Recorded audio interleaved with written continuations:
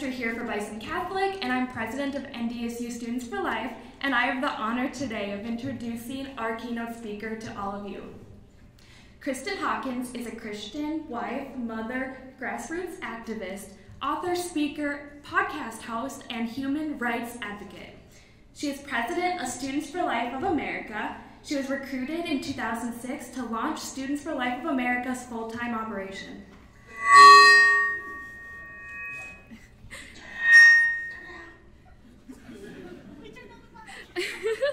No problem. Oh. oh. Okay, I'm back. Hi, guys.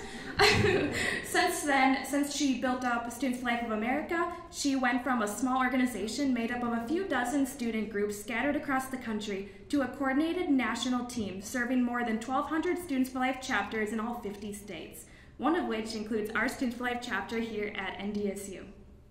She hosts a weekly podcast called Explicitly Pro Life, found on iTunes or YouTube a frequent speaker at college campuses like Harvard, Dartmouth, UC Berkeley, as well as being a media analyst, Kristan's expertise includes abortion, feminism, disability advocacy, and healthcare as she navigates the social conditions and public policy that impact the human rights issue of our day.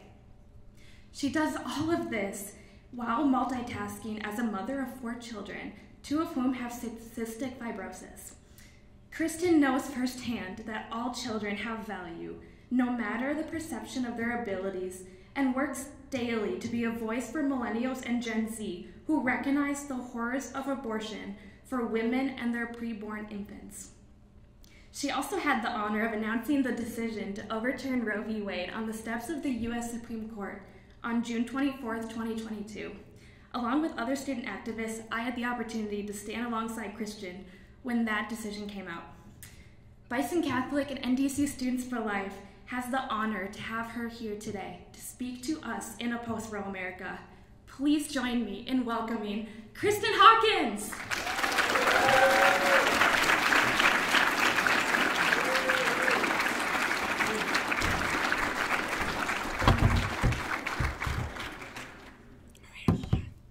There's a button.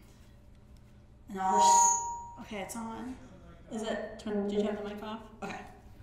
All the shy men here won't like touch my button to turn on my mic. Never had that happen before.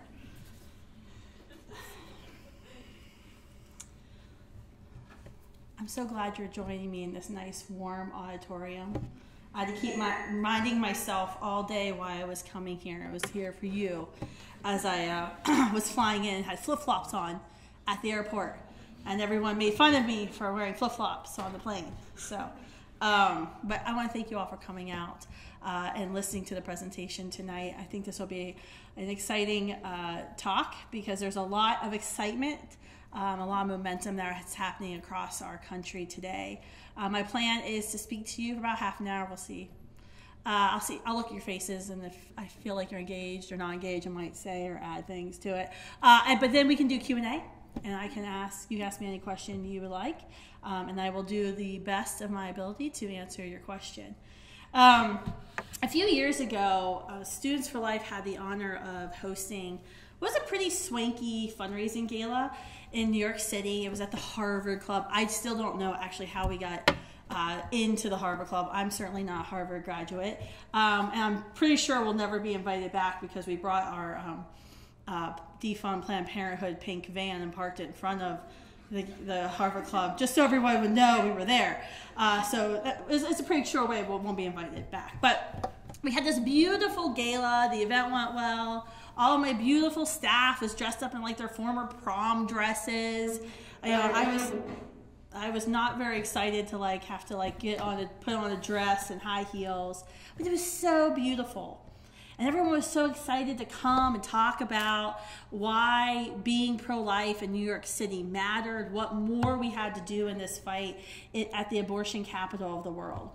And, you know, we had some senator folks and congressmen and national talk, talk show hosts. Um, but one of the things that really struck me at the end of the gala, we were cleaning up. Um, because we call ourselves gritty at Students for Life. It's a nice word for cheap. Uh, so we were also a cleanup crew in our ball gowns. Um, but while we were cleaning up, one of my uh, trusted mentors came over to me uh, to share some feedback and advice in the night. Uh, and his feedback was pretty interesting because he said, you know, it was beautiful, the food was great, everyone loved it, was so motivated. Uh, but you know, I have you know I have some stuff that I think you need to think about next time you make a, a speech. And I was you know really interested because there's no like formal school for how to do this work. I took speech class in high school for like one credit. I took like speech class in college, and I had a lot of debates with my college professors. Like that was it. So I was like clued in onto what is going on. I was really clued into what was going on. Is it me? I just want to hurt everyone's eardrums. But I was really clued into what was happening. So I was like, okay, give me, Sean, give me your advice. What is your best advice? It sounds worse. Okay. I don't know. Is it turned off? I think it's turned off. It's turned off. No. It's turned off. Here. We don't want to show everybody my bra. If we can just. Here, I'll just wear it and then we can deal with it later. Thank you very much. So I was asking Sean, you know, give me your best advice. What was your what did I do wrong? What did I say wrong in my talk? And I'm used to saying the wrong things at the wrong time. And um, his advice kind of shocked me though. He said, You know, everyone here loved it. They were so inspired, but you need to stop saying things like abolish abortion. Stop saying things like when Roe versus Wade is reversed. Because nobody here in Manhattan actually believes this is going to happen and no one's going to take you seriously and invest a serious amount of money that you need to accomplish your vision if they all think you're kind of naive and young when you say this.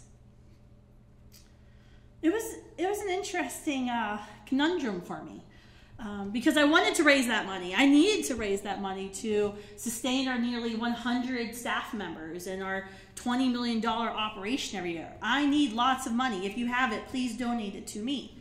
Um, but I also thought, you know, leaders always have to envision a win. You have to set, it's sports psychology, right? Like, we can't go out the field and be like, we're going to try our best, but we're going to get our butts kicked. It's not going to work out too well for your team if your coach said that, right? We can't be saying these things. So I'm so honored to say that I don't know what possessed me to, to be so stubborn or what gifting God gave me to be so stubborn, I guess you could say. I, I refuse to stop saying that word, abolish abortion. Or I refuse to stop saying when we will see Roe versus Wade reversed.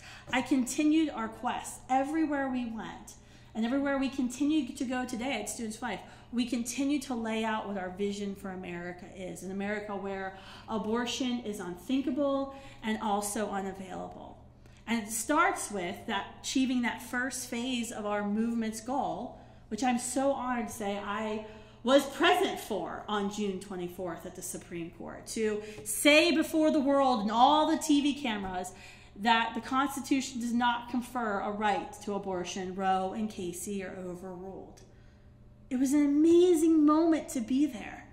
And a realization that we continued to be faithful to our mission that we were called to, continue to lay out that vision for our entire generation. And look at where we are today. Just look at where we are today. It's a whole new conversation, a whole new landscape for our pro life movement. And I don't I don't share this story to brag with you about my fancy fundraiser at the Harvard Club or the fact I had to get dressed up in high heels, which were red, um, or that I was at the Supreme Court the day Roe versus Wade was reversed. I don't sh- share that for, for that credit. Um, I share it because I want to leave you all, most of you here in this room are Catholic or Christian, pro life. Um, with some words of wisdom what we need to do now, where we need to move forward, what we need to do, and how we become an unstoppable force. How this generation continues the momentum of Roe and Doe's reversal into the next phase of our movement so we can accomplish our ultimate vision in America of abolishing abortion. And the key to becoming this unstoppable force, it's stupid simple. It's be gritty and always move forward. Because it's certain, it's absolutely certain that you will face setbacks and we will face defeat just like our pro life movement did for 49 years in our quest to see Roe reversed. Since launching Students for Life, I can, a whole list comes to my mind from the past 16 and a half years of professional and personal setbacks that I have witnessed and endured. When my son and my daughter's diagnosis of cystic fibrosis, learning that you know, every day I have with them, literally every day I have with my children is, is special and it's a gift.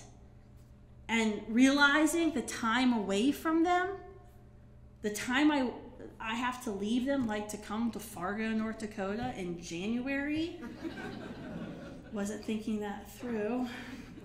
But that, that time away from them better be spent on my life's mission to save lives because there's no other reason you would get me away from them. There's been other moments, losing what today seems like not like a big deal, but the time it did, losing grants, losing funding in economic downturns, vital funds that we knew we needed to accomplish and to move forward our strategic goals of starting and sustaining a pro life generation on college and high school campuses. Um, to the tragedy we, we found ourselves in when we lost two of our team members, Courtney and John, and Courtney's 21 uh, week old preborn daughter, Sophie,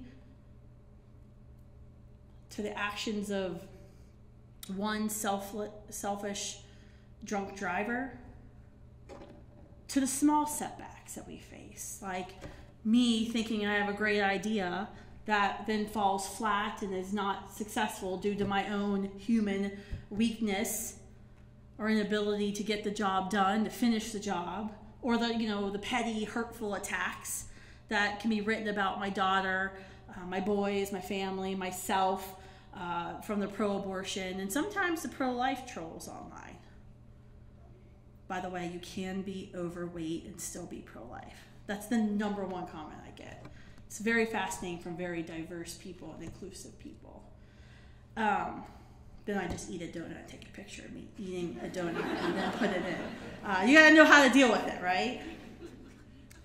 I've learned though through all of this, the real gift that God gave me that prepared me for this moment. Because this is funny. I mean, this is like funny stuff. I'm a girl from West Virginia with no political connections. My parents were, my whole family was Democrats until I got involved in the pro life movement, and I made them all switch their party registration. I can tell that's a whole nother speech title um, later. You can be a Democrat, be pro life, you're welcome, but we know the party that gets is getting the job done. Anyway, but like I, I don't come from like this political family. I wasn't raised to like run a human rights nonprofit. It was only just like a couple years ago that my dad stopped asking me, when are you going to go get a real job and become a lawyer? He just finally figured it out. Um, so I wasn't like raised with like a special gifting that like, ooh, you're going to lead all of these amazing human beings that are going to be much, much more gifted than you are. And you're going to, you're going to get to lead all of them. There's no like, there's no training for that. So always think about these things. When we're at the National Pro Life Summit this weekend, and there's 2,000 young people, college, high school students, sold out, the most amazing human beings you will ever meet. Some of you were in the room. And I just find it so awe inspiring for myself of how did I get to this point? How did God put me into this position? Because it, I don't know. It's because of a yes. It was a yes here and a yes here. But it wasn't like I got these amazing skills. My debate skills are probably mediocre at best. Yes, I have a willingness to allow people to scream at me. People who don't understand where babies come from like to scream at me that I'm anti science. Yes, I allow them to do that, and I do it with a straight face. And people on the interwebs enjoy watching those exchanges. Um, I don't think it's my intellect. I mean, I got a 4.0, I was valedictorian, but I mean, it was like a high school. It's like easy when you think about it. It's certainly not my sense of style. I dress all in black because I've just given up trying. Uh, I figured out black always looks good. You never know what I'm wearing. It's not my like vibrant social media personality. I found out this weekend that I'm viral on TikTok. I don't even have a freaking TikTok. I didn't even know. Like they were showing me in the green room. They're like, "Oh yeah, this is like 2 million views." I have no idea. So it's not like I have like these special like giftings or like, oh yeah, this qualifies Kristan for this position. When I think about like when it all boils down to why me and why me now, what what have, what gifting has God given me that's so different from anything anybody else? Because trust me, there's a lot of gifts He didn't give me that I would have loved to have. I think the gift that I've been given is this ability to move forward, this ability to quickly pivot and stubbornly refuse to quit when it gets tough, when it gets hard, when it becomes emotionally painful.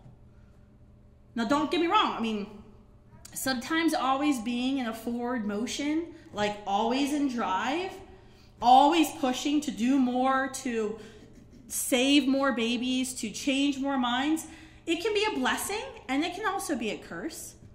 It can be a curse because I don't, I've been told that I don't stop and smell the roses or celebrate the victories along the way or thank enough people for all the incredible work. I'm always like, great, good job. Now we gotta do this. And everyone's like, I just want a break. I want a cake. I want to celebrate. You should have seen me the day Roe was reversed. There was no celebration. Then it, the next day, we were out door knocking, educating community members about nonviolent resources available in the community. I don't remember certain things, like amazing things that happened to me. The young people that came up to me at you know the walk, the March for Life, or the summit with incredible life testimonies, who were touched by a video that I didn't even know was on TikTok was out there. Then, you know, the atheist, this young woman who came up to me, was like, I wasn't pro life, I'm an atheist, but I saw your video and I changed your mind, and I even came with a church group to get here today. It was great. Uh, I looked at the church group and I was like, yeah, you have got some work to do. Like, we got it, we got this. I don't remember. I mean, the only reason I remember that story is because it just happened on Sunday or Saturday. I'll forget it by next week. I don't remember what my kids' first words were. I remember being there. I remember being excited, but I don't remember. I have four kids. Now, grant, like, there's lots of stuff going on in my house. But I just don't remember those things. Why? Because I'm always in a forward motion. I'm always thinking about what's next. It's a blessing in the sense that when I fail, trust me, I can fail big, I don't dwell on it. I begin again. I retool the approach. I try to incorporate the lessons I've learned from my initial failure to try not to do them again.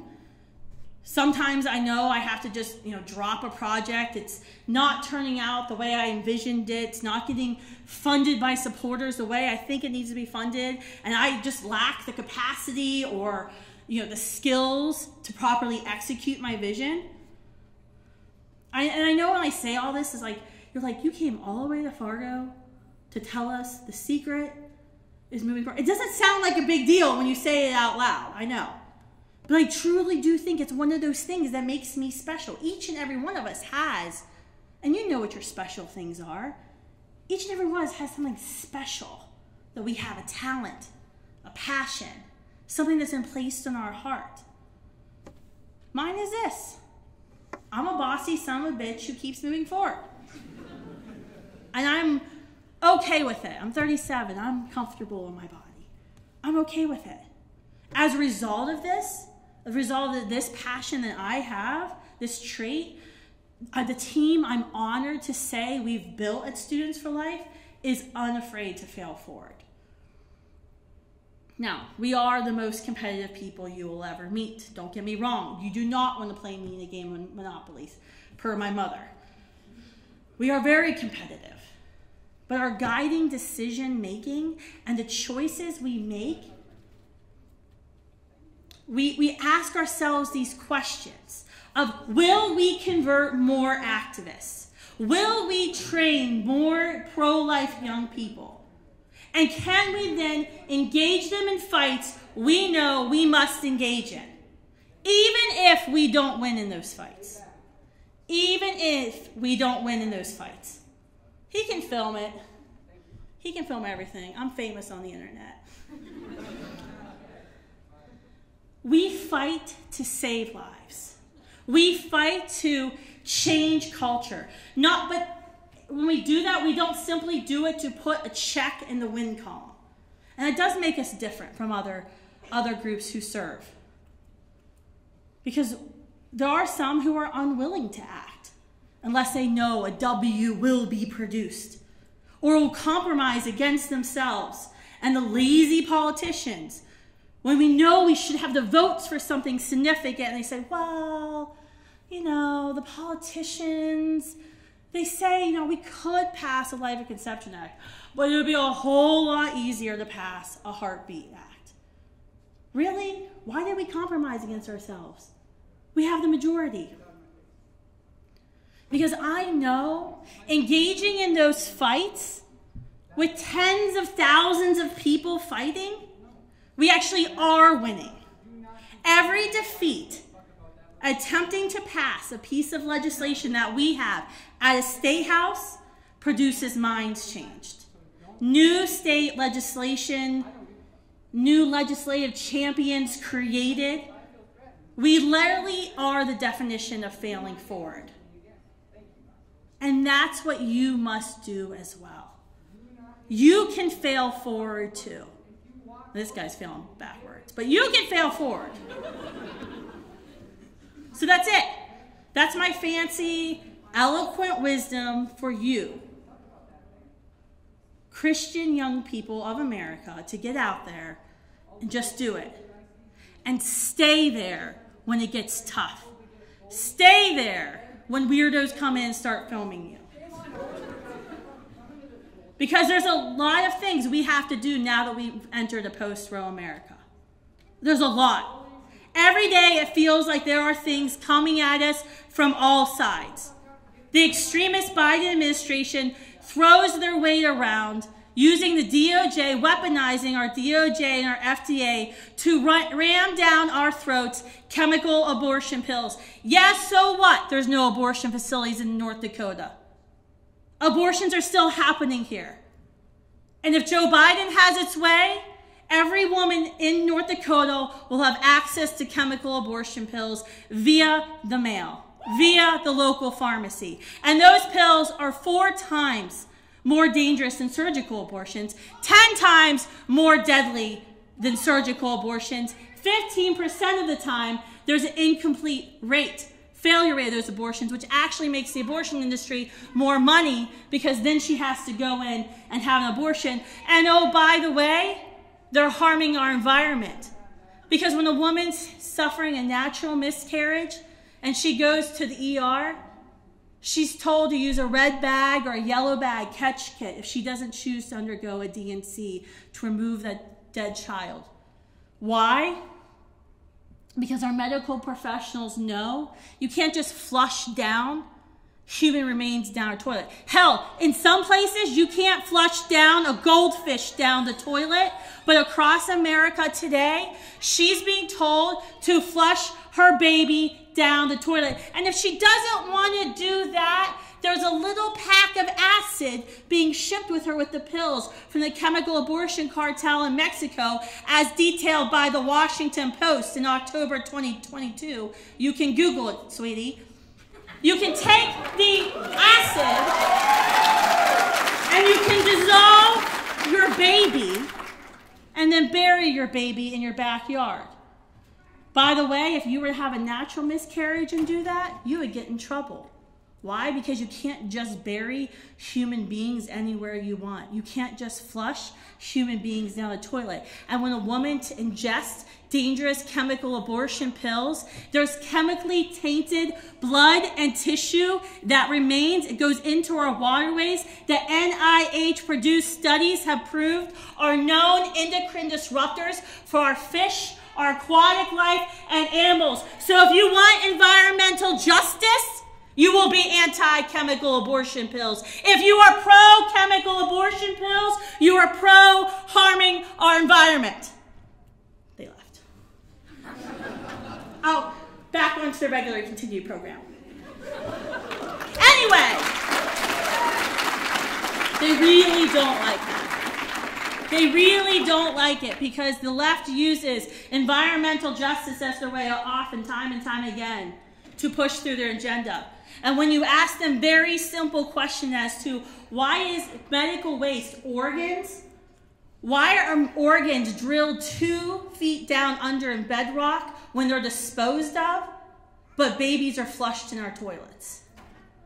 Why is it that you're not allowed to flush goldfish in our toilets, but you're allowed to flush babies in our toilets?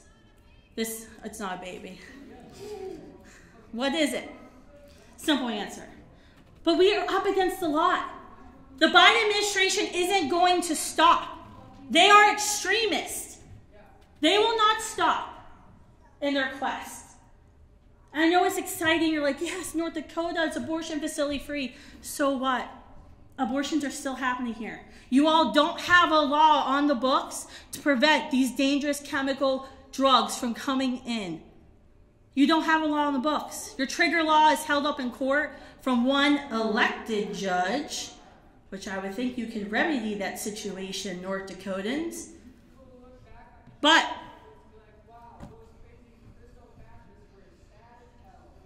I'm not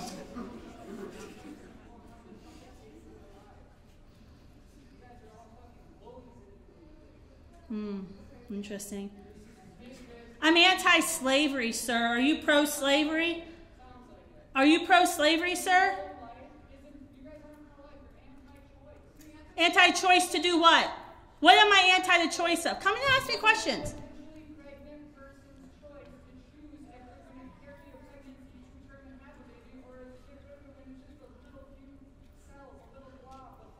I used to be a blob. Does that mean I didn't matter, sir?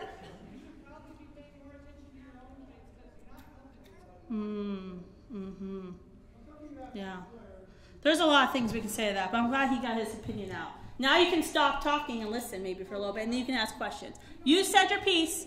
You call me a neo-fascist. Go ahead. Now you're done. Now you can listen, and then you can come up with questions later. Well, your school can remove you for not paying attention to rules, but okay, keep going. So anyway, we have a lot to do because there's people like this guy who think they can bully you who go on social media when you post something pro-life or you know if you have a pro-life bumper sticker with standing with you our comprehensive resource website that we have at students for life where any woman not a pregnant person any pregnant woman or a man who impregnated her can go and get support no matter where they are in the country. 100% confidential support. But you get nasty things written on your car nasty comments on social media. We have a complicit mainstream media who takes the fear mongering and the lies and the anti science, antiquated, misogynistic beliefs of this man and then puts them into print. Puts them into print and tells women that they aren't strong enough, tells women that they aren't strong enough to choose both, that they have to make a false choice between the life of their child and their education or their career and education, that they're not strong enough and smart enough to choose both when we know they are. And by the way, that we in the pro life movement have established an entire social safety net of resources of more than 3,000 pregnancy centers and maternity homes that vastly outnumber the fewer than 600 abortion facilities in America today. That in fact, when every single Planned Parenthood in America is shut down for being the racist jerks that they are, Every federally qualified health center will only have to see two more patients a week to make up the difference. And by the way, those federally qualified health centers offer way more services than Planned Parenthood. Do you know Planned Parenthood only treats, according to their annual report, 18% of the STDs that they diagnose? Do you know where they refer her or him when they're diagnosed with STD? To a federally qualified health center. You can go to findahealthcenter.hrsa.gov, put in your zip code, and be connected to a community health clinic that will actually treat STDs. That will actually has to treat every trauma every illness you present them with. And if they don't have the specialty there in the clinic, they're legally obligated to get the care you deserve. That's the facts we need to combat. That is what we need to be promoting and sharing with young people across the country. Don't let one weirdo with a camera come in here and tell you you're a bully or a neo fascist when I'm pretty darn sure they're the fascists because they want to shut down conversation, they want to shut down debate. And they're the ones that feel like that they are all powerful, mighty, and get to determine who lives and who dies based on their location, based on their age, based on their genetic differences, based on their parentage. These people think they get to choose who lives and who dies. Sounds like fascism to me. Don't let them bully you. Don't let them bully you into silence, persuade you to being silent, because now is a time we need you more than ever before. And you may not know every hard answer that gets thrown your way, or you may feel like, I don't know, you know, everything Kristan says. Guess what? You don't have to. All you need to be is a kind, loving person who's willing to have that conversation. And if you don't know the answer, you can say, you know what?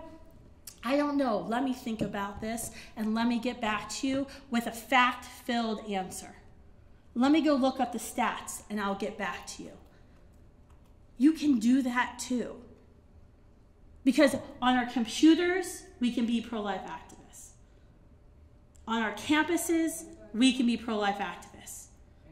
In our churches, we can be pro life activists. It's actually anti abortion, sir. I'm anti abortion, which makes you pro abortion. So if you want to get technical, I'll use anti abortion, but you go ahead. Start saying pro abortion. Go ahead. pro abortion. Pro abortion person. Yep. Mm-hmm. So on the computer, on the Capitol, in the community, on the campus, you can be an anti abortion activist.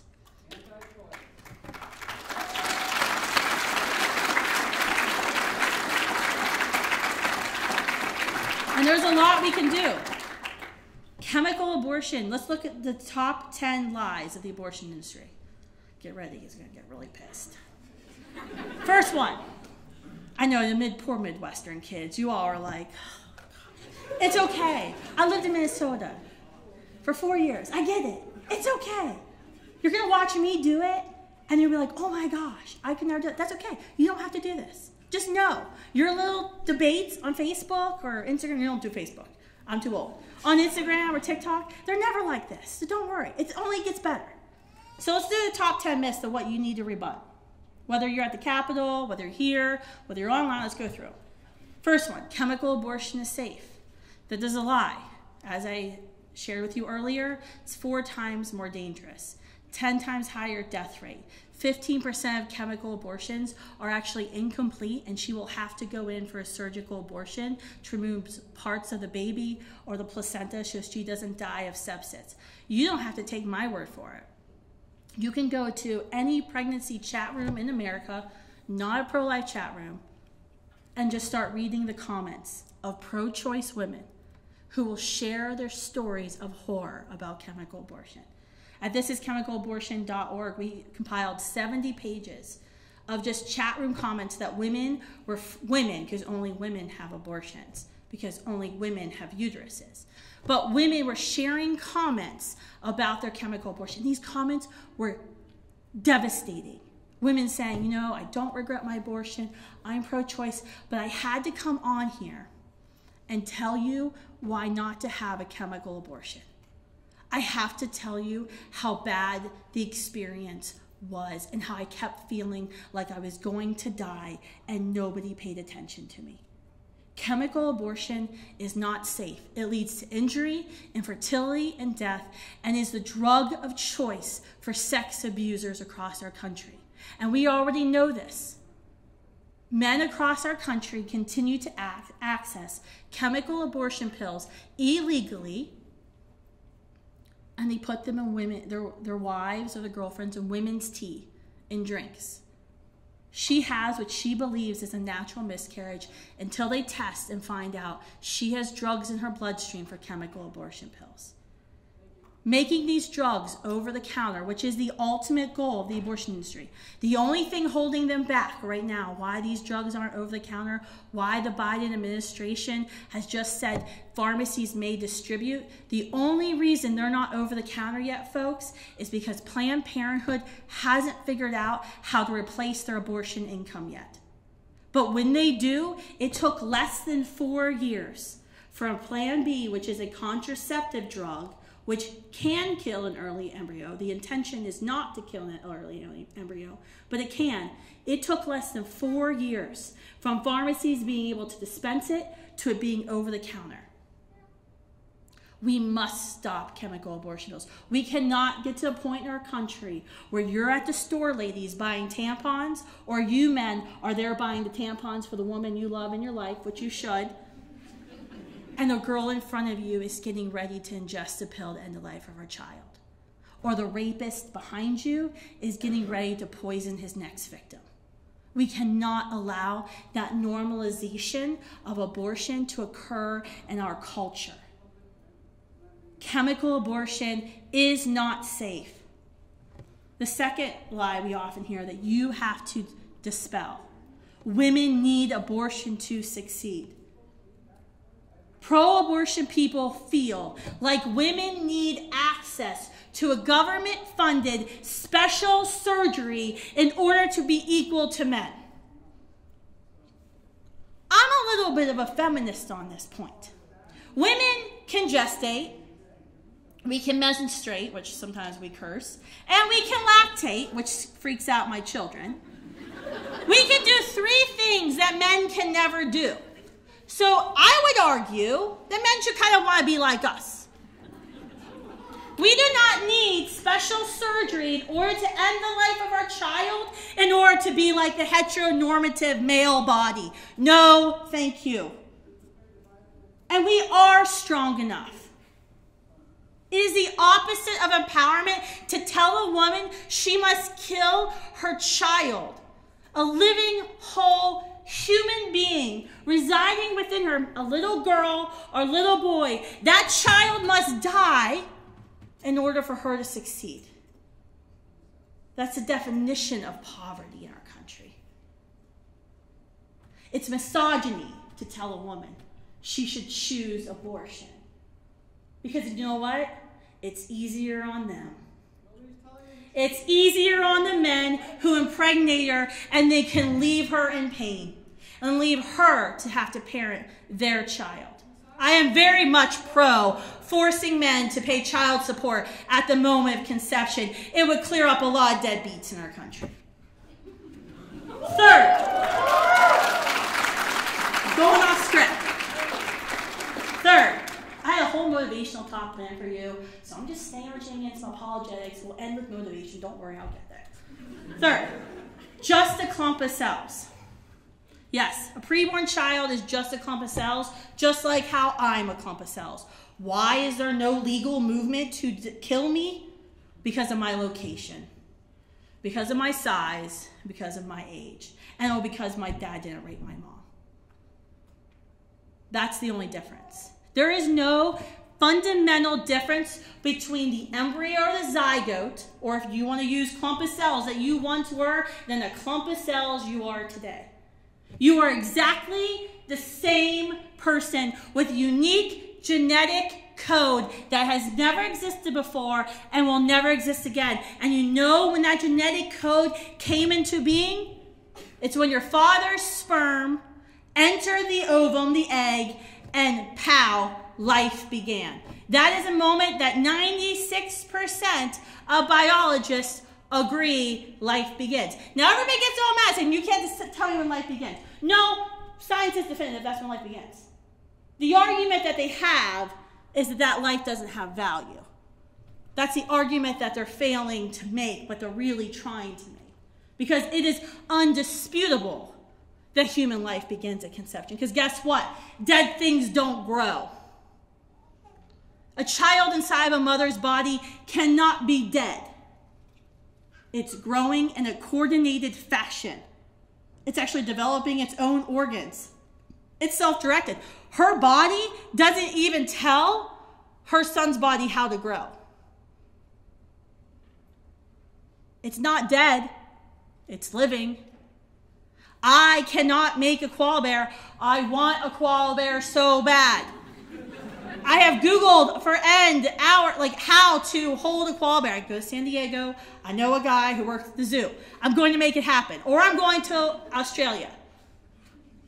But I, no matter how many times I have sex, no matter what position I have sex with my husband in, I know there's priests here and it's getting really uncomfortable. I'm not making eye contact with them. I cannot get pregnant with a koala bear.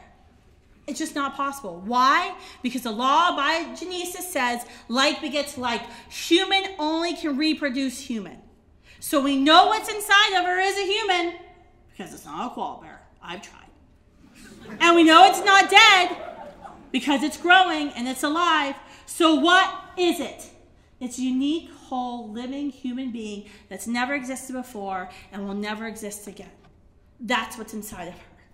So, it's not just merely a clump of cells. Fourth, Planned Parenthood cares about women. Oh, this is my favorite. Planned Parenthood nation's trusted health care. Until Black Lives Matter discovered what we knew all along, and that Planned Parenthood's own founder was a racist and eugenicist, and then everyone's like, well, that was different. Margaret Sanger came of age in the early 1900s, and every white person was a racist. Well, my family was one of those ones that came over from Ireland and Poland that she wanted to sterilize because we were the unfit immigrants. So, no, not everybody was racist, by the way. But it's funny because for years the pro life movement would say this like, hey, did you know Margaret Sanger spoke at a female auxiliary KKK rally? Hey, did you know the Nazis came here to America in the 1920s and learned about eugenics? And people go, that's crazy. You can't say that stuff. You're white. You're not allowed to talk about racism. Smart tactic. But then Black Lives Matter suddenly discovered the thing we knew all along. The Margaret Sanger was a racist, spoke openly about how we needed to get to the Negro population and use ministers to convince them why they needed birth control, why they needed sterilization. It's called negative eugenics. But then it was like, oh, NYU suddenly took down all Margaret Sanger's writings. They used to be online. How I wish I had screenshotted that. No, they're at NYU, sweetie. I just can't get to them because I know every time I screenshot them, they go public.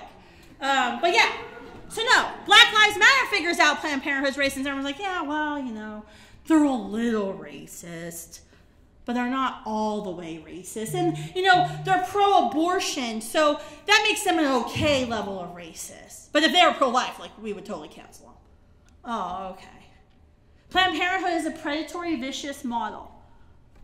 Planned Parenthood is like hiring the tobacco lobby to go into our schools and tell kids not to smoke. It's like having Philip Morris go in and be like, hey, run a little program. Tell the kids that like smoking pollutes their lungs and give them lung cancer. That's what happens. Planned Parenthood in many school systems across our country is hired to go into our school systems to tell our kids how to stay safe during sex. But yet, they're the agency that makes money when they do have sex. And then when they have sex, and then they get an STD, which, by the way, we're an STD epidemic in our country. Don't have sex outside marriage, it's gross. Yeah, that doesn't make too much sense, does it? And then when she really gets in trouble, beyond just, you know, genital warts, don't Google that, uh, or chlamydia or something like that, then when she gets pregnant, she goes back to them as well. It's a predatory model that they've developed a relationship with her when she was 10 years old. They beat us to the punch. Yeah, Planned Parenthood's not about helping women. You can see in their own annual reports talking about sources. No one gets more excited for Planned Parenthood's annual report than Students for Life of America. They always release it on a Friday night when things are busy. This year, it was a Friday after Queen Elizabeth died, so nobody was paying attention. But we were. Every single year for the past hmm, 10 years, there are good services. You know that reason we have to keep funding them, those good services, continues to decline. Adoption referrals, STD treatment referrals, STD tests, breast cancer screenings. Guess what? They were all trending downward. Guess what? Up the past few years. And the only thing that went up at Planned Parenthood abortions and abortion funding. Oh, this one's this one's fun myth that you're gonna have a lot of fun, men online talking about this. It's gonna be your favorite subject. Hormonal birth control. Here's a myth. Hormonal birth control doesn't cause abortions. You're crazy. It does. It can. The back of the Plan B box actually says it. On the left side of the black, you can Google it and Google images right now. On the back side of the Plan B box, Plan B, which is a 10 times more powerful dose than the normal birth control pill, by the way. Plan B, the goal plan B, is to stop an egg from being released from the woman's ovary. Therefore, conception can't occur. Okay? That's how life happens. Just making sure we all know that. Because some of us probably don't. So, what happens? What's an alternative backup method to Plan B and other hormonal birth control? It also makes the uterine lining, lining inhospitable to a fertilized egg slash embryo slash zygote. You can Google the word fertilized egg and it's not zygote. The only reason they left use the word fertilized egg, why? Because it dehumanizes the new person. It makes it seem like it's not a person. We say fertilized egg as if it's still a part. No, actually it's not. Because once the egg from mom gets fertilized by sperm from dad, it's a unique whole living human being. So in the back of the Plan B box on the left hand side, it says in big bold font, will not harm existing pregnancy. On the right hand side, teeny tiny font says, may prevent implantation of a fertilized egg. How can they legally get away with this, you ask this question? Well, it goes back to 1965 when the American College of OBGYNs, uh, the number two most liberal lobbyist for abortion in America today after Planned Parenthood, changed the definition of pregnancy from the moment when egg and sperm united and a new human being was created to implantation of that human being into the uterine wall. Anyone want to know why they changed the definition of pregnancy? To allow for contraception and IVF. So we can say, we're not killing any babies, we're just flushing them out. Uh, and you know, Plan B can do it. We know birth control can do it because Plan B is only 10 times more powerful than normal birth control. And we all know someone who is on a birth control pill who got pregnant. So we know the birth control pill is not 100% at preventing eggs from being released from the ovaries, which is the intended effect. It does it about 90% of the time, 90, 91% of the time. I would not have gotten on a plane here today. Now, granted, I got on an old, old plane but I would not have gotten on a plane today if I thought there was a 9% annual failure rate of the American Airlines plane. I just wouldn't have done it. But we accept it. Uh, next uh, myth women can be men. No, you can't. And this, this is not a call to. Um, this is not a call to be mean. It is not a call to make fun of our brothers and sisters who are confused and struggling with their gender identity. But I think it's harmful and uncaring when we don't tell people the truth. That no, men cannot be women. You know what I mentioned earlier about why chemical abortion pills still aren't over the counter? That's because Planned Parenthood, which today is the second largest provider of wrong sex hormone treatment, hasn't fully perfected their, their empire yet. But their next cash cow is wrong sex hormone treatment, which actually, if you think about the eugenics past the Planned Parenthood, fulfills their objectives even purer. Because what Planned Parenthood wanted, what Margaret Sanger found, Margaret Sanger actually wasn't pro abortion. She actually was against abortion. Planned Parenthood had a brochure from 1962 from Planned Parenthood. Planned Parenthood saying no abortion is murder. Planned Parenthood was founded to make sure unfit people can't reproduce. Because Margaret Sanger thought that was one of the greatest challenges America faced was that, you know, people of color, stupid people, immigrants were reproducing, it was producing all these imbeciles across the that's their term. Imbeciles. So their goal was eugenics, sterilization, birth control, prevent the births from happening in the first place.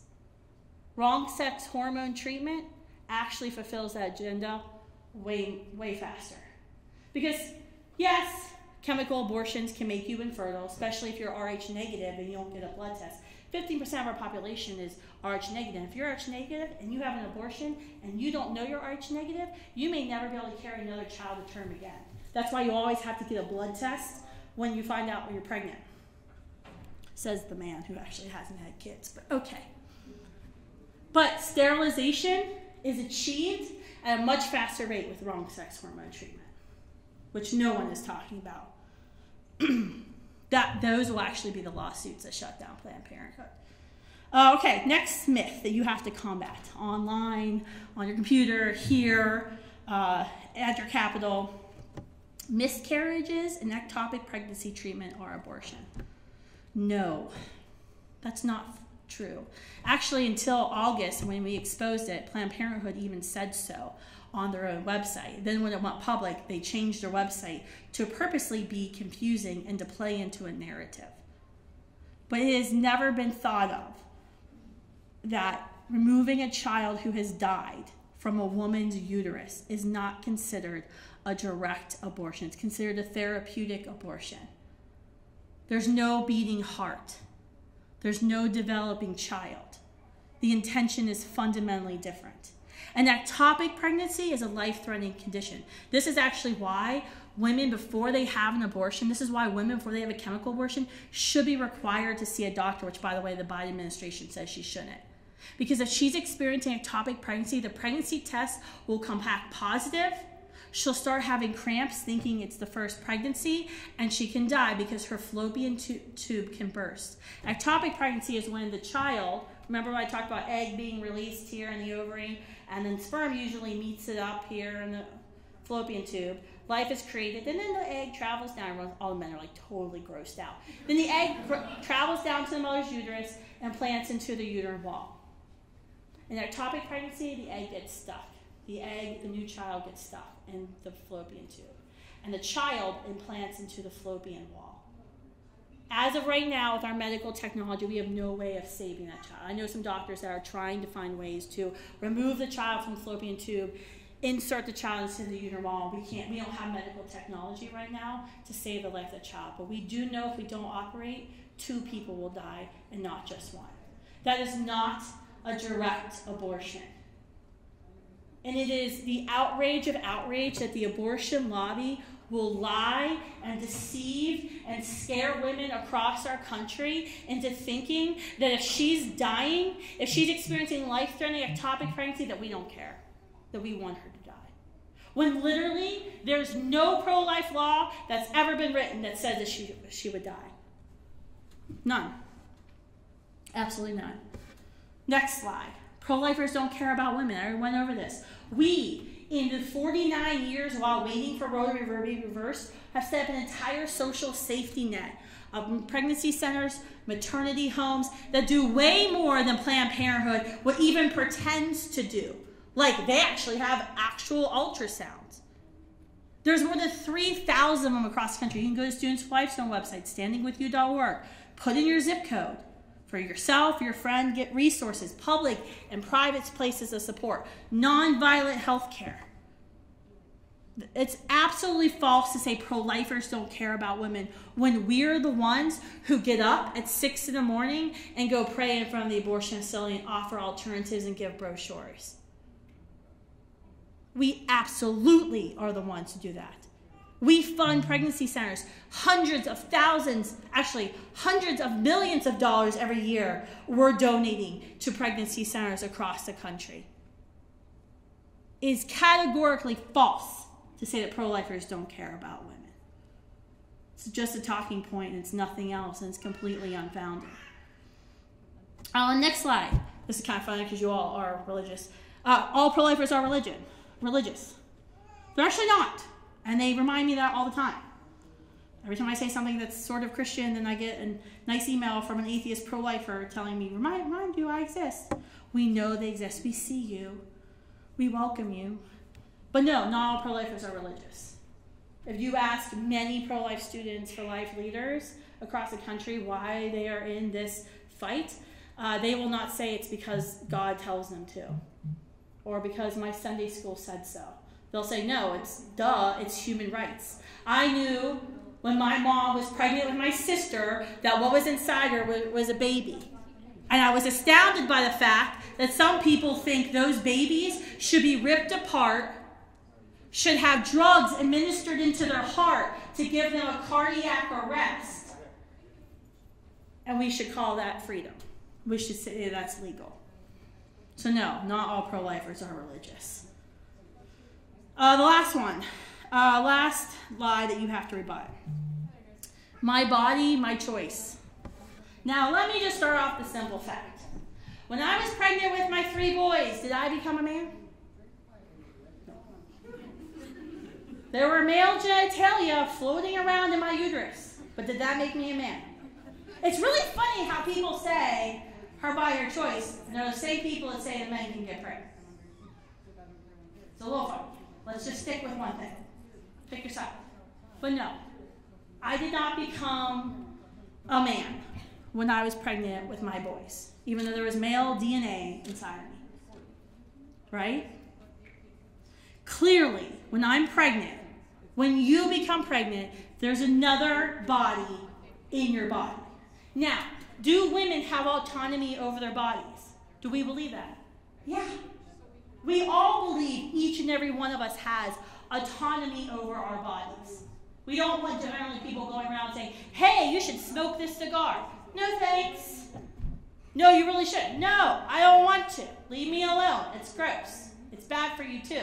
Oral cancer is disgusting. Don't do it. But you have autonomy to say that.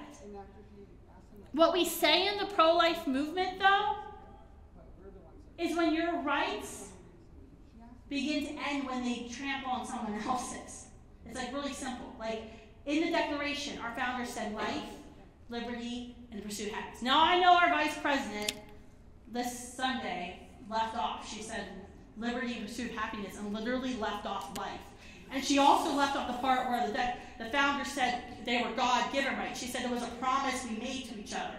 What does that mean? I'm pretty sure, like some people in this room wouldn't want me to have that that, that promise of life. So I'm really glad God gave me that. But anyway, in the Declaration, what it actually says, not what the Vice President says, we have God given rights of life, liberty, and pursuit of happiness. And it's very clear why you say life, then liberty, then pursuit of happiness. With abortion, you have a conflict of rights. You have a mother's liberty at stake, and you have a baby's life at stake. And the rights are conflicting with each other. For 49 years, we've been told, oh, her liberty supersedes your life. Really? Think about that in American history. Think about it in world history.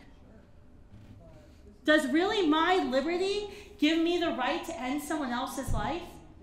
Does my pursuit of happiness or a profit at my, I don't know, plantation give me the right over someone else's liberty? Mm, no. And in every single instance in our collective human history, we've disordered those three fundamental rights. Terrible, bad things happen. It's never good. It's never good. So when it comes to abortion, it's very simple. Yes, she has a right to liberty. Yes, she has a right to bodily autonomy. But your right stops when it stops the right to life another human being. We believe in the pro life movement that she is capable of sacrificing nine months so someone else can live 90. I'm not saying it's easy. No one in the pro life movement, most of us are women who've had babies.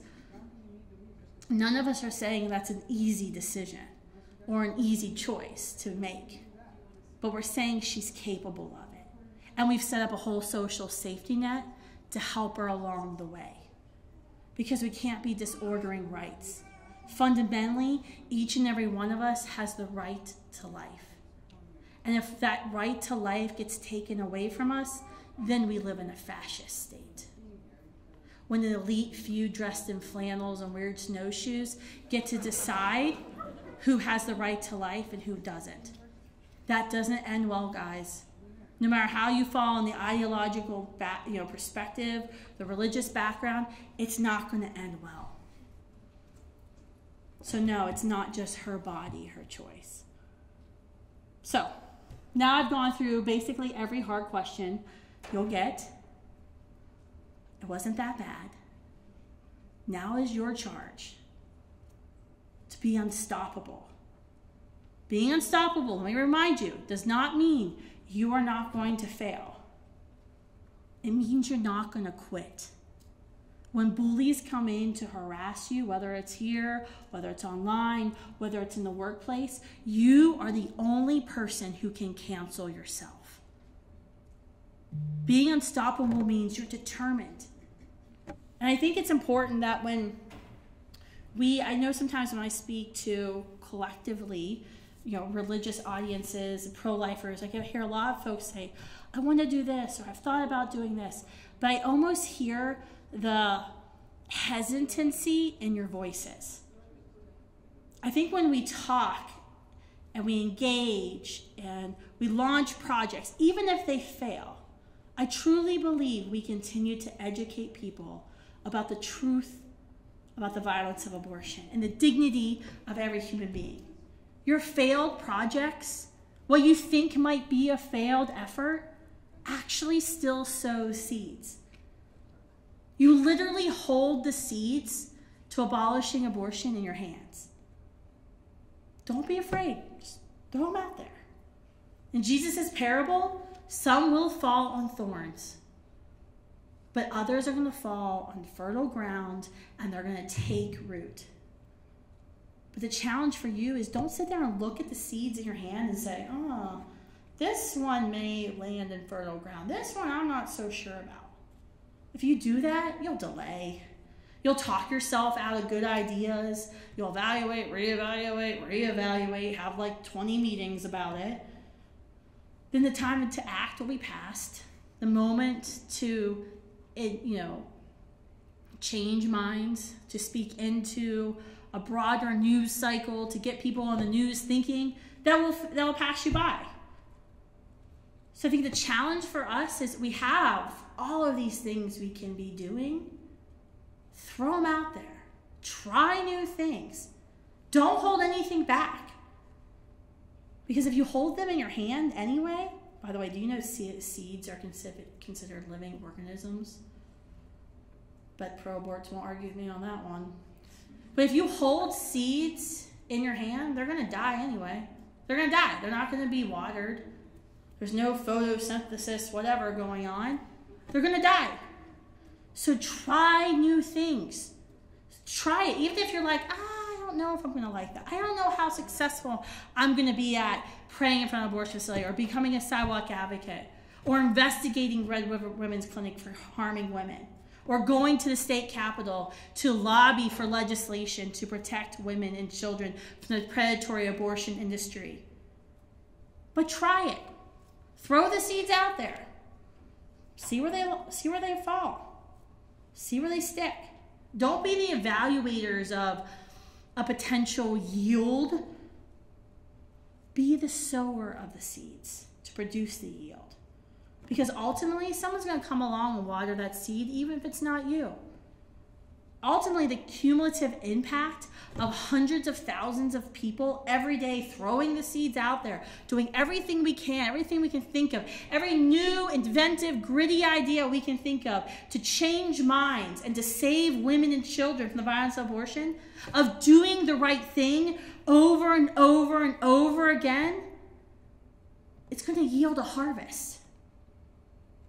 It's going to yield a harvest for sure. I've met the harvest this weekend, before I forget, I wrote down their stories. I met the harvest. At the Pro Life Summit, I had um, a, a girl who was 11 years old, Juanita, come up to me from Perrysburg, Ohio, and she asked me if I would be the 137th signer on her letter to President Joe Biden. She hand wrote a letter to the president asking why he wasn't living up to his Catholic faith. And then handed me a little 40 Days for Life pen and said, Will you be the number 137 signer? Apparently, she was walking around my summit, didn't pay for a vendor pass, uh, and she was asking other people to sign up too. It was so amazing. I had a, I had a young girl who had never been to anything in the pro life movement before, who I think kind of got drugged there by our school from the Archdiocese in the Twin Cities, who came to the summit, our National Pro Summit, which was the day after, and came up to me and day. She goes, I'm going to start a pregnancy center as soon as I graduate college. That's it. That's my calling in life. That girl's throwing her seeds out there. I don't know if she's going to be successful, but she's throwing them out there. Juanita, 11 year old little Juanita who then later when I said, Do you want my job? And she said, Yes. Who's going to take my job one day? I need to get another job. Um, she's throwing it all out there at 11 years old. The atheist, the young atheist I met from Charlottesville, who braved the ride with the church group to come to the March for Life, to hold her cute atheist pro life sign. She's throwing it all out there. All of them. So I challenge you today don't be afraid of the bullies. Don't be afraid of what they say to you online or the passive aggressive post notes they stick on your car in the park Target parking lot. Don't be afraid. Don't be afraid to be unstoppable. Challenge yourself. That no matter your failures, your setbacks, embrace the law of probability, people. I'm pro stats. Embrace the law of probability. You, some of your seeds are just going to fail. But to be okay, because collectively we're going to yield a harvest that moves forward in this post Roe America until we get to a country where abortion is unthinkable and unavailable.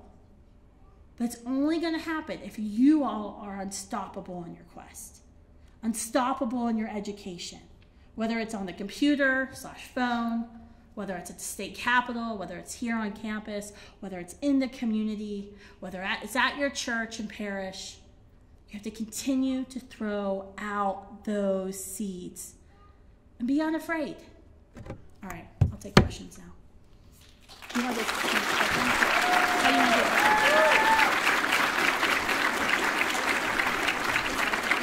I don't think this microphone's gonna work. Well, I can if can you all hear me? Yeah. yeah. They can use the mic. All right, all right. I'll let you guys use the mic. Can we get one more round of applause for Kristan Hawkins? I hope someone filmed that. As she said, she was ready to take some of your questions. Um, I'm going to have you guys line up around this, my right, your left. Line up around this side where you see Nathan waving. I'll hand you a microphone and Kristan will answer your question. Reminder to be respectful no matter what side you're on. And actually have a question. And actually have a question. All right, let's do this. Line up. Yeah, I'll do it without mic. Okay, are you sure? Yeah. Perfect. Just tell me if you can't hear me. Right. I project, I've been told.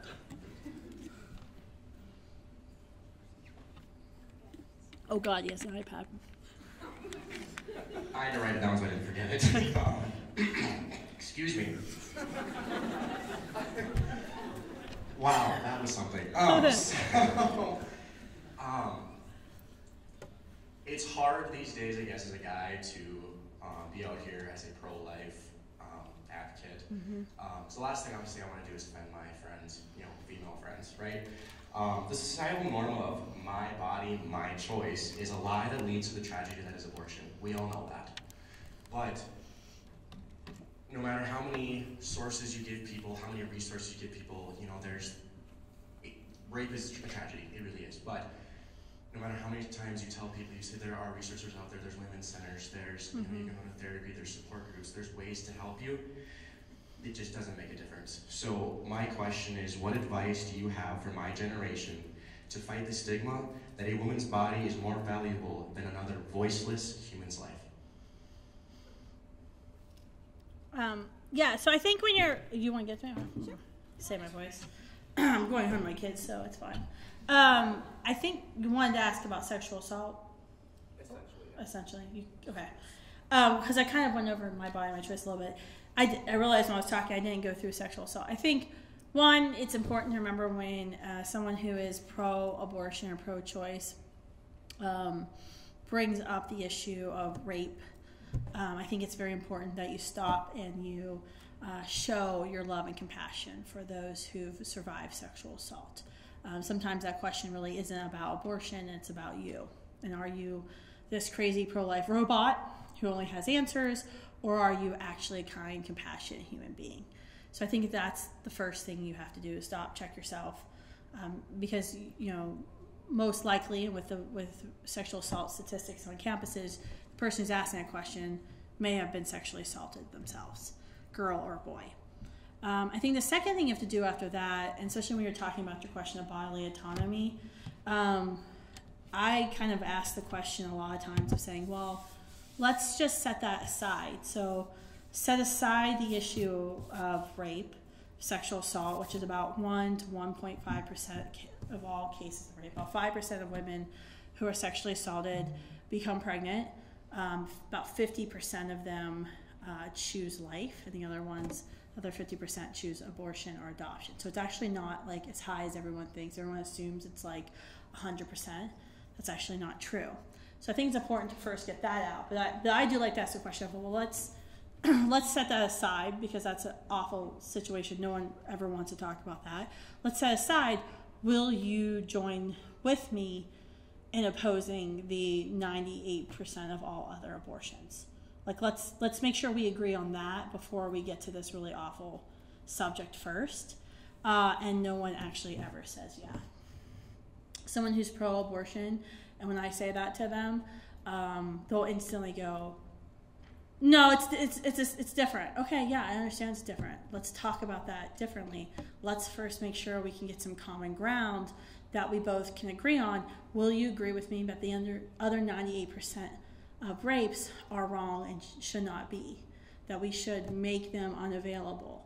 That we should have resources for women so no woman thinks that they're uh, an option that, that she can she can choose. Um, I've actually never had a pro-abortion person on campus agree with me on that fact, uh, and I think that's really sad because my next question is, why did then did you choose to exploit the horror of sexual assault in order to justify your extremist view that 100% of abortion should take place in our country. And I think that's the question we need to be asking because for someone who gets asked this question a lot, I am really sick and tired of someone who is 100% pro abortion, meaning abortion whenever, wherever, taxpayer funded, all nine months, even if it's because the mother doesn't like the gender of the baby, which, by the way, everyone acknowledges gender in the womb. Um, crazy.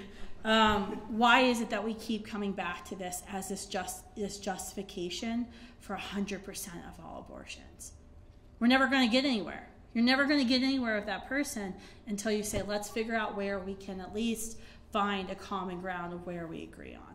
Um, and I think it's terribly disingenuous of those who support abortion. If you support abortion, uh, you should be able to support abortion. You should be able to come up and say, nope, I understand science says it's a human being, it's whole, it's living, and I still think a mom uh, has the right to kill that human being. I don't really have a response to that besides, I think you're wrong. I think that's setting up our society for something deeply dark and tragic, and I will do everything I can to stop you. Uh, there's no other response to that, right? There isn't a response to someone's like, nope, I know it's a human being, I still think I'd kill it. The best thing we can do is to make sure other people are listening to that.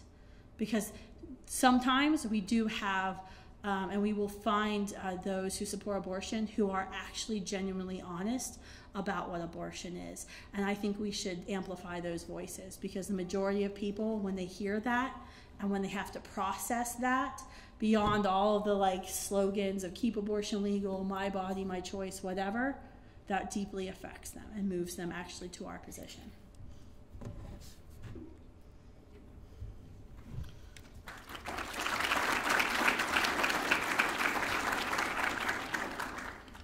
Uh, thank you so much, Kirsten, for speaking and for all the wonderful work you do. Um, my question, I guess, well, I think it's fair to say that anyone who supports abortion or who has had an abortion is just a fundamentally unhappy person. You can take all the people who are there tonight. Um, you're not supposed to judge a book by its cover, but you can judge a tree by its fruits. And um, Oof, the way that they that dressed and the words that they said, Yeah. they just seem like unhappy people who support abortion, probably because they think that it's their only option. Or they're Yeah. post supportive themselves. Yeah. That that's that's something you have to understand is a lot of times people who mean this to you are those who actually have had abortion. And their justification of their treatment towards you is trying to make them themselves feel okay with the choice that they made. Because anyone ever saying abortion is bad hurts their feelings. Because deep down, it's written in our human heart not to want to kill babies. And so abortion is a retooling of that. And it's hard for those who then have to justify their um, pro abortion views over and over again. So, Yes. That brings me to my question. Like people who support abortion get so set in the way that they feel.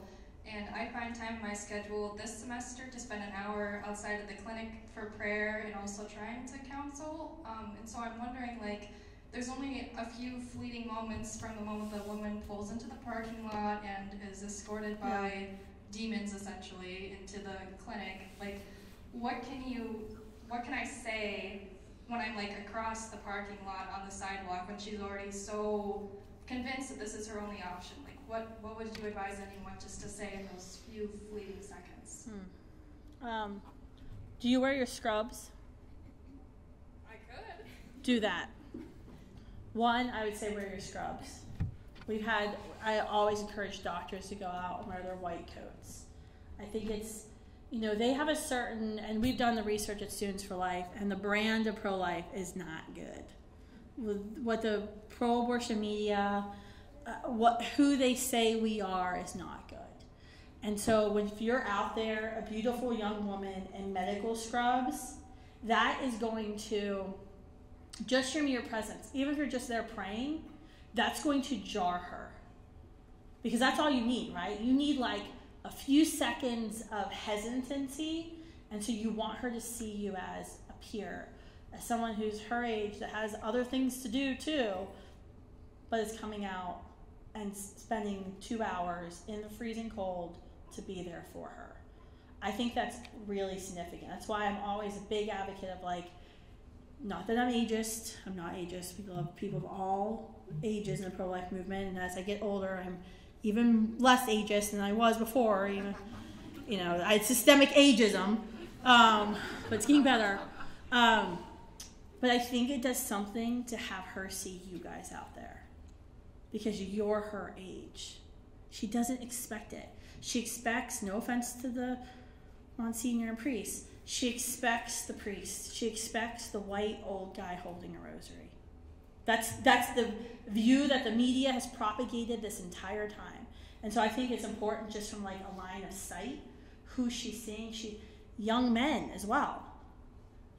She's not expecting to see you out there. So I think you just being there, I think um, I mean there's different strategies. I met a guy, talked to dinner, it's a little kooky. Um, but he has this amazing technique where he has $20 bills.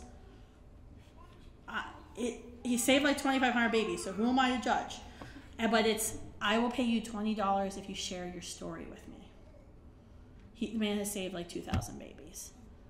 It's incredible. And then he goes up, and once he starts talking, he'll say, I'll give you 80 more dollars if you go to get the ultrasound. It's amazing. Like for a hundred bucks, he saves life. Like you can't do that in the pro life Trust me, I like run digital ads all the time. It costs me like nineteen hundred dollars per baby saved in like twelve cities across America right now. And I'm like, whoa, 900 bucks, that's a steal. I mean, really, it is for like a lifetime of a human being. But 100 bucks? So I'm like gonna be arming some students with like hundred dollar bills, not dollar bills, like hundred dollar bills. I don't know, it's look weird out there, but um, I'll try it. But I thought that was an interesting technique where it's like, tell me your story. Even if you don't got the 20 bucks, maybe have a sign say, hey, I want to hear your story. Just tell me. Tell me why you're here. Don't let me talk to you.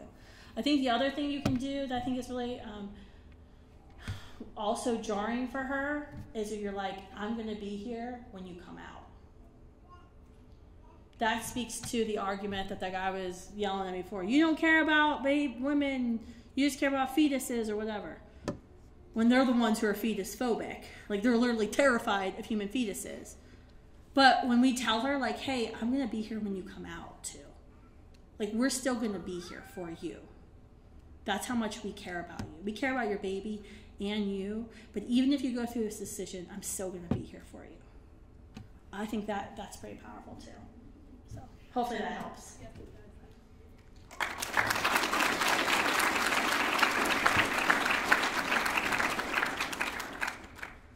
As a proud pro-life man, Woo! By the way, to all the men, fellow men here in this room and across the country, it is okay to be pro-life. It is more than okay. We are standing up for what is right. Yes. Embrace it and be proud of it. Yes. I know you're Anyways. jealous because you can't menstruate lactate, but it's okay.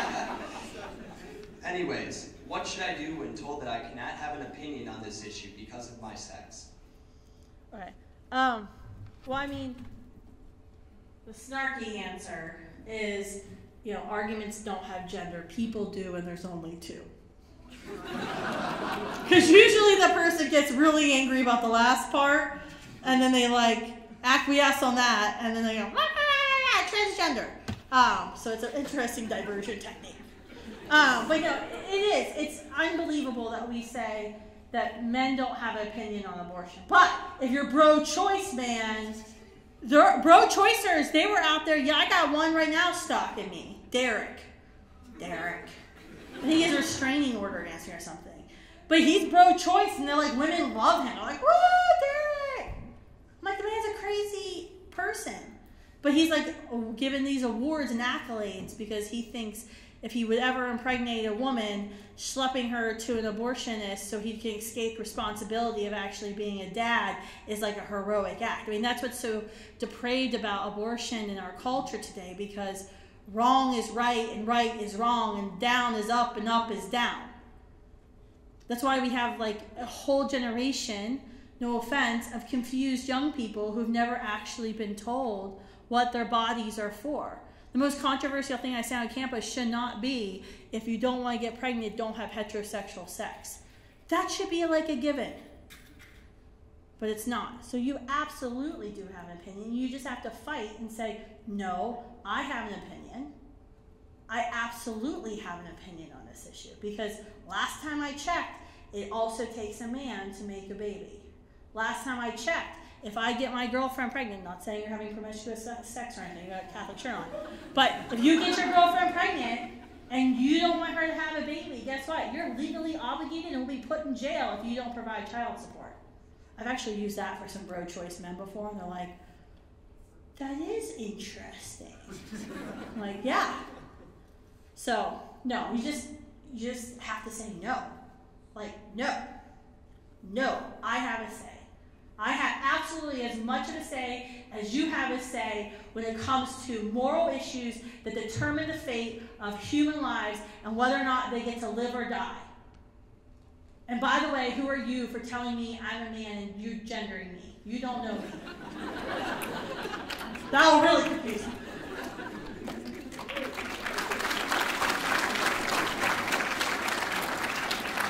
I wish I had like more eloquent things to say besides like no, but no. Okay, um, where are the, where are the, exactly are the stats and links to birth control, abortion, and just eugenics movement to physical and mental disabilities like autism, and how can we fight this? Like, how can we fight this overall movement? Like, what are the stats with disability and abortion Hmm. and such? hmm Yeah, I don't think I've ever seen a stat linking abortion to autism in children. There might be. My the source I usually go to, and I usually have like this little white folder that I've had for like ten years. You think it'd be more advanced, but it's really not. I have a white folder of studies. And so usually if I'm in a hostile audience, you'll see me at the podium like going through my studies. Um, and I just keep them in my folder and I just add to them every once in a while. They have like crumbs and like kids' drawings on them and things like that. But I get them from PubMed. So it's pubmed.nih.gov. It's National Institutes of Health has like this comprehensive database where you can literally go in, you can type abortion, you can type abortion comma autism and Google it to see if there are abortion autism studies. I have not personally ever searched to see if the, to see if there's a link for that. Um, but I can tell you right now, you can go to pubmed.nih.gov and put in abortion. You will see a lot of studies um, about abortion risk factors. You'll see um, one of the most famous studies is by Priscilla Coleman. She's a professor at Bowling Green University, uh, Bowling Green, Ohio, and she did a comprehensive meta-analysis. Is where you kind of summarize a bunch of different studies together, um, abortion mental health, that was published in the British Journal of Psychiatry not a pro-life source that showed an 81% increased risk of mental health problems of women who had undergone abortion. I often find, to be honest with you, when you're a PubMed, and I don't have my list because I was told this was going to be a friendly audience tonight, so I didn't bring my abortion tools or my list. Uh, serves me right. Um, but uh, you can just go on there and you'll actually see the majority of the studies that are done are actually international studies. And I actually trust those studies more than I trust studies here. So, fun fact, not so fun uh, America has no national abortion reporting law. This is one of the biggest things that the pro life movement needs, but we just never get around to. We're like, yeah, yeah, yeah, yeah, yeah. It's like going to the dentist, like, yeah, yeah, yeah, I'll do that. And then you wait till you have a cavity. But um, we actually need very badly a national abortion reporting law in our country because we actually don't have valid statistics on abortion. Some states report into the CDC, but it's completely voluntary. Other states report into Guttmacher, which is named after Guttmacher Institute, which is named after Alan Guttmacher, who was the vice president of the American Eugenics Association. Before it became the American Genetics Association, he was also second president of Planned Parenthood. They used to be linked, now they're separate. But we actually have to use Guttmacher, a pro abortion source, for most of our abortion statistics because California and New York don't report their abortion stats to the CDC, which always deflates the abortion numbers. Guttmacher gives us better numbers. But we actually don't know the um, harm rate. The reason we found out that chemical abortion is four times more harmful, 10, 10 times more deadly, and increases emergency related ER visits, abortion related ER visits, 500 percent is through a Medicaid study using data in California of women who are on Medicaid, which is free health care, uh, and their and their and their abortion uh, related ER visits. We actually don't have a ab- national abortion database or statistics. This limits our ability to study the impact of abortion on American women. So, when we're looking at studies through PubMed, the best studies you will find, the studies that are the longest running studies, are studies in countries where abortion is actually not controversial. Uh, a lot of the Norwegian countries we I often use, I often cite Finnish or Denmark uh, studies um, because in their country, abortion's measured just like any other surgical procedure, uh, and they actually want to know. Uh, and the stats in those countries are alarming. Some of the stats I shared with you about how chemical abortion is polluting our waterways, um, those studies are coming out of Europe because they're now actually going, wait a minute, we're putting these drugs. So I would encourage you, if you want more stats, to go to PubMed uh, on NIH's website uh, and just type in abortion, whatever, abortion, breast cancer, abortion and suicide, um, birth control, suicide, birth control uh, you know, whatever you want, you can put it in, and it's um, be prepared for a long night because there's a lot to, there's a lot to sift through there and these are peer reviewed you know studies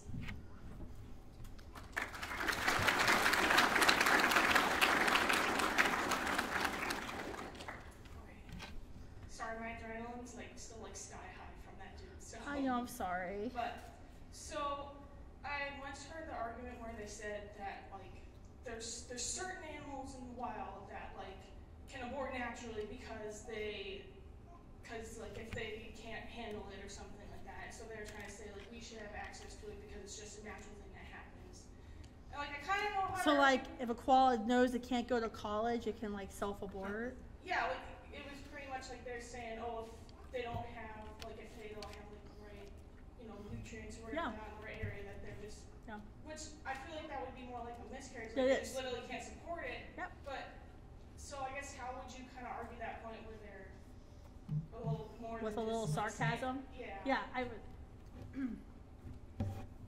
I would argue with that with sarcasm. Be like, so the koala bear doesn't think she can go to college. She's going to talk about. No, what you're talking about are animals that are pregnant that are unable to sustain the pregnancy, and that could be lack of food. That could be stress. You know, not having a safe, you know, little habitat in the tree or whatever. Um, but that would be the same for here, right? So you think about the miscarriage rate of women who are female athletes or women who are very stressed during the first trimester of their pregnancy or women who weren't getting proper nutrition when they're pregnant. That's the same deal. Your body is unable to sustain another human body, which it causes a miscarriage. So that would be the same. I would argue, if you're talking about like the animal kingdom, that's going to be the same, right? It's not like a, oh, I'm six months and my male koala bear left me type of deal. Now you could say her partner is killed in the wild, she undergoes stress, she's foraging for food, she's not taking care of her pregnant body, and then she miscarriages. Miscarriage. I don't think there's like a thing that goes on in her neuron like abort, abort. That's an interesting cartoon you just put in my head for tonight. I have like this little koala bear cartoon in my head. Going great. Thank you.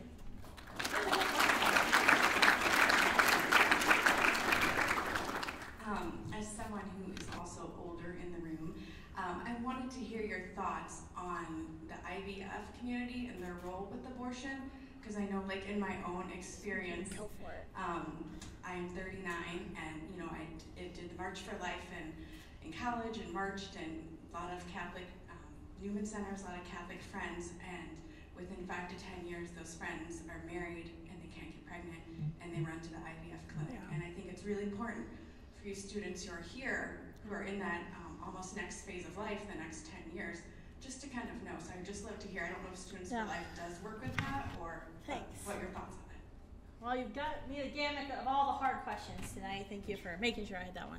Um, yeah, I'll actually hear this sometimes of supporters will say, you know, if you really want an abortion, y'all be pro, or actually, it's usually s- s- more like pro abortion people. He'll go, if you want an abortion, why aren't you protesting IVF clinics? Which I think is an interesting acknowledgement of what happens in IVF. Um, this is a hard subject because some of you in this room may have been conceived via IVF.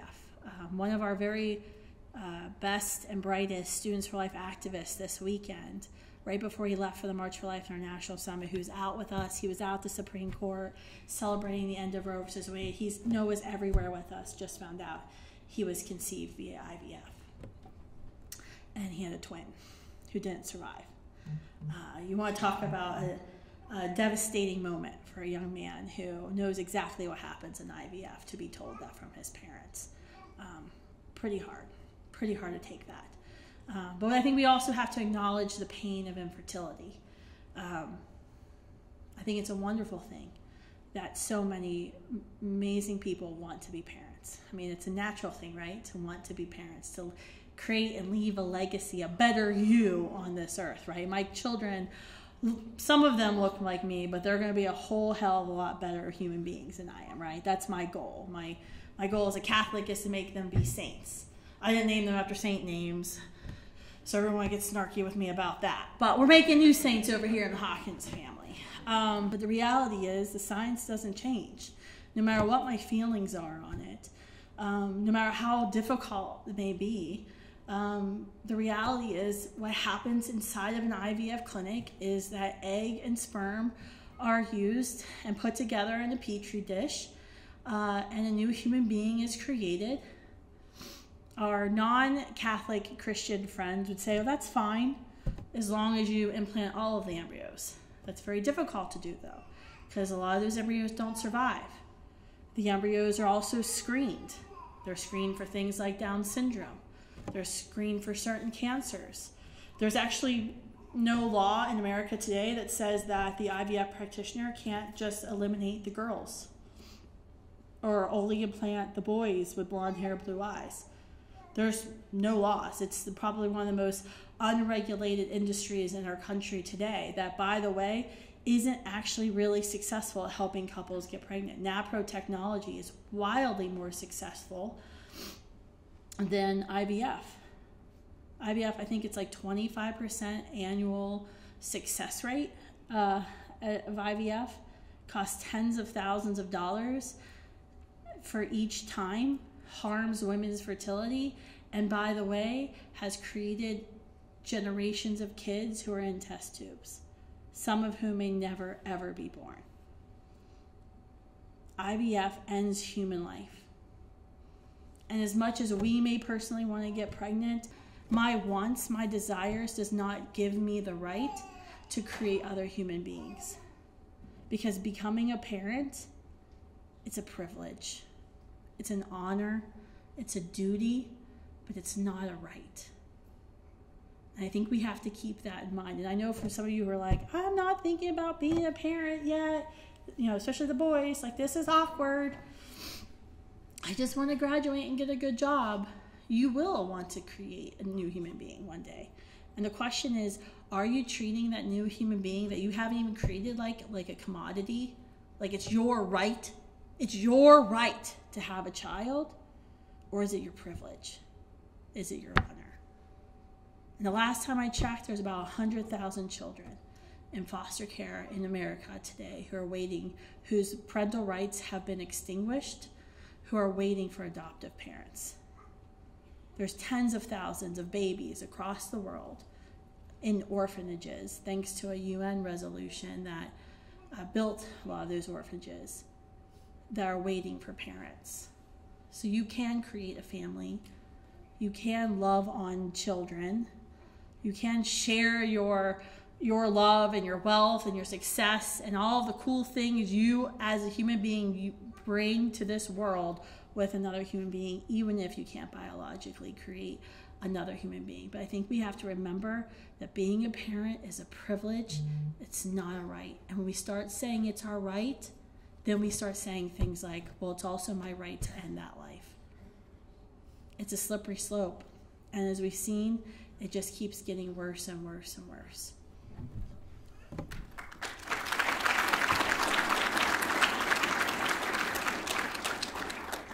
Okay, so I'm just curious how um, you respond to people when they bring up the fact of the adoption and foster care industries being as like quote unquote bad as they are, or the fact that they're not better than they are. Mm-hmm. How do you respond to the fact of them saying something how like, why adopt every baby in the adoption or fo- Yeah. foster care system? We actually do. Um, I have. I don't have the statistics in front of me. I just did a podcast. Uh, it's coming out. Subscribe to my podcast, Explicitly Pro-Life, um, with Herbie Newell. I just filmed it this past Thursday.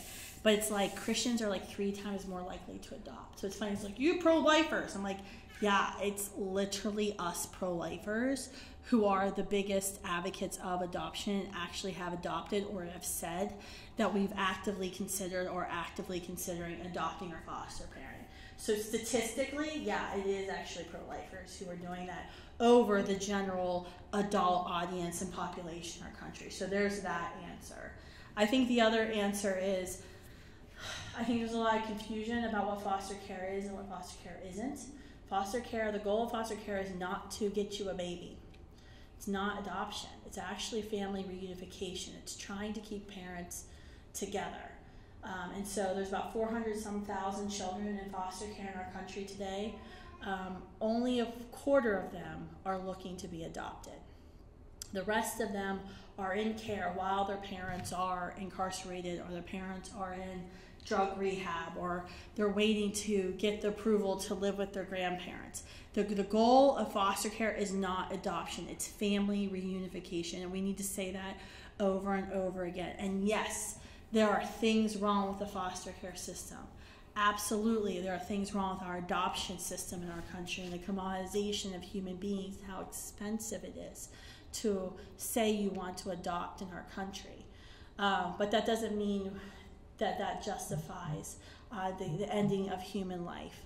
Um, that doesn't justify it. It just doesn't justify it. Um, and so I, that's kind of how I answer that question today um, is that there's just because someone may suffer or we think that they may suffer, because um, I hear all the time, well, this kid's going to be stuck in foster care. Okay, interesting. Uh, are you against the legalization of drugs in our country? No. Okay, well then shut up. Because if you want to talk about the children who are in foster care today, it's drug abuse. Majority of those children are there because of drug abuse. So if you really care, you would have something to say about drug use in American society today. So okay, one there.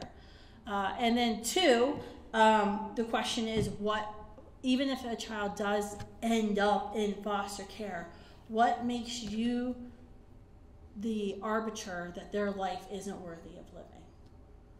All of us will struggle with our life. All of us will have hard times in our life. Some of it other people may know. Some of our struggles people may never know what they are. But that doesn't mean just because we have struggle, just because we we will face hard times, doesn't mean we're, we're, our lives are unworthy of life or that we have power to say, oh, they're not like us because they're in foster care, therefore they should have been aborted, and let's back up and make some sort of national policy. Because the last time I checked, and you look at the statistics, child abuse rates have only gone up since abortion was legalized in our country. They haven't gone down. We will take one more you guys have the best questions for a friendly audience. I usually don't like to speak to friendly audiences because you don't ask any hard questions. But I think that guy, like Rajab, said, good job. Good job, protester. Okay, so with these conversations, like obviously both people feel very strongly that they're right.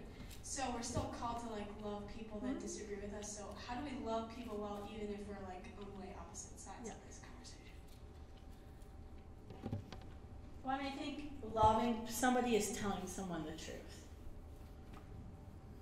And so you can have um, an opposing conversation with somebody and vehemently disagree and still love that person. I mean, I love Dave Matthews. I love Dave Matthews. It's like my one career objective I haven't achieved yet, besides abolishing abortion. I mean, Roe in reverse, but we got to abolish abortion. I want to convert Dave Matthews. I know if I got in a room with Dave Matthews just like half an hour, he may, I may not totally change his mind, but dang it, I will plant that seed. Right? But I love Dave Matthews. I love all his little socialist rants. I love it. But I vehemently disagree because he's completely wrong. He should stick to songwriting, which is what he's good at.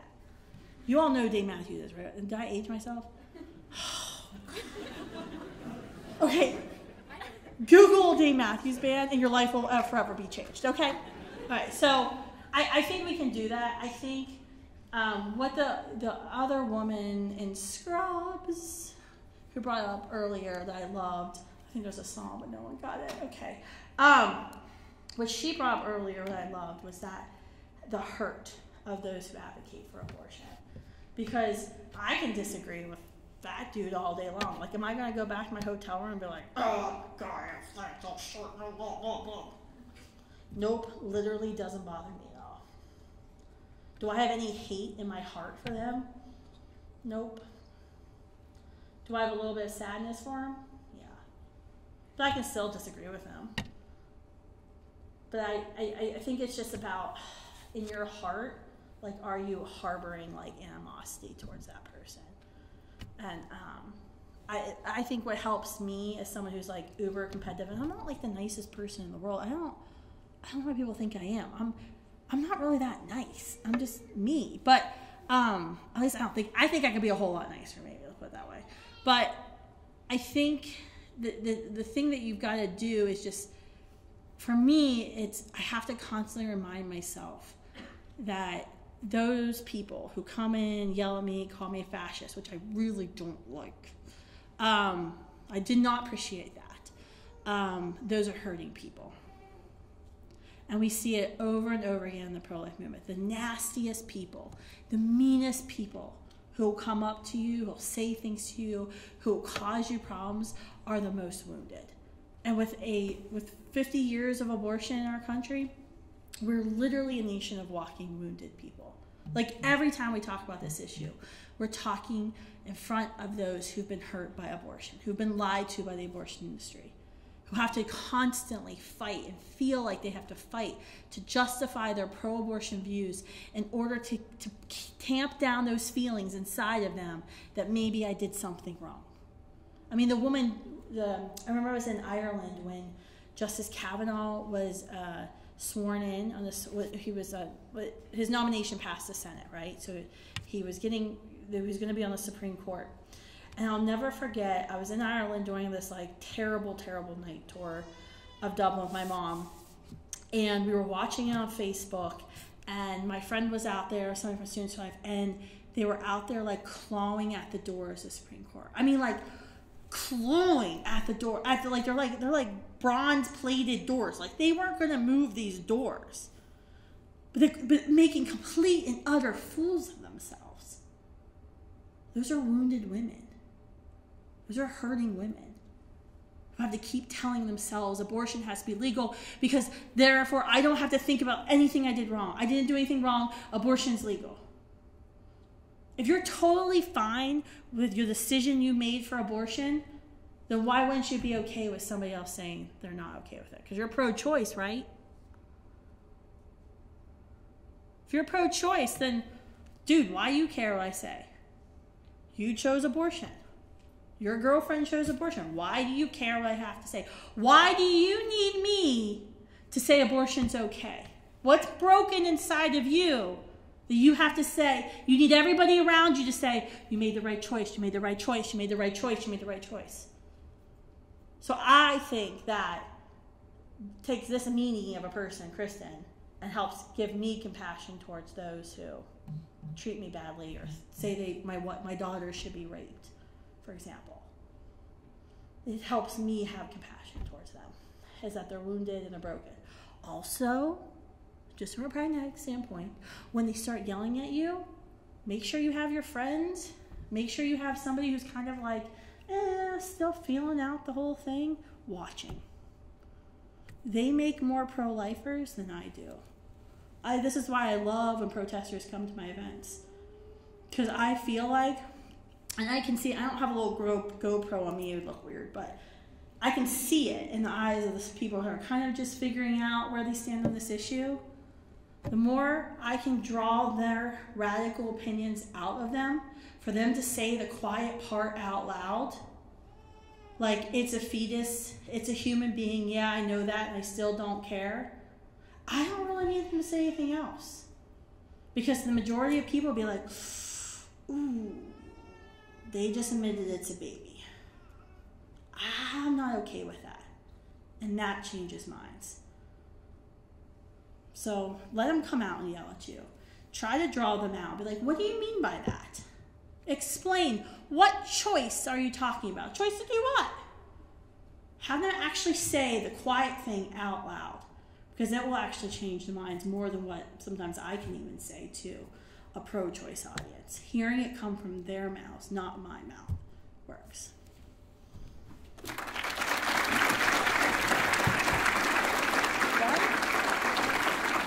Thank you so much, Kristan, for coming and helping us be equipped to go out into our communities and right here at NDSU to be better advocates for life in 2023.